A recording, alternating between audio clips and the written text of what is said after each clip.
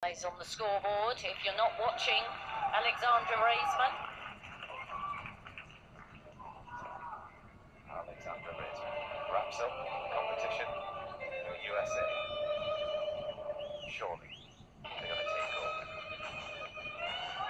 She qualified top on floor. Look at the one and a half walk out. What's this? Double Arabian. Oh, and in qualifying, she did a punch front on the end of it.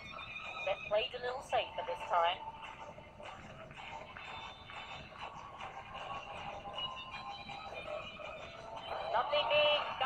Double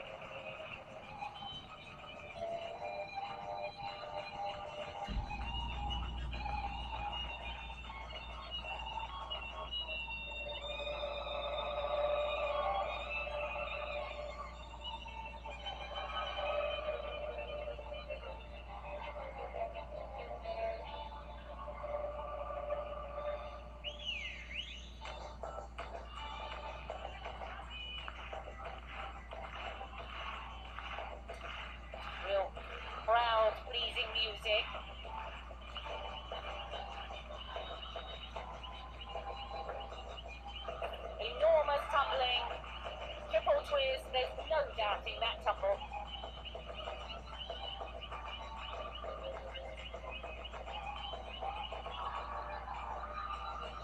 Just this time, tumble for the world title.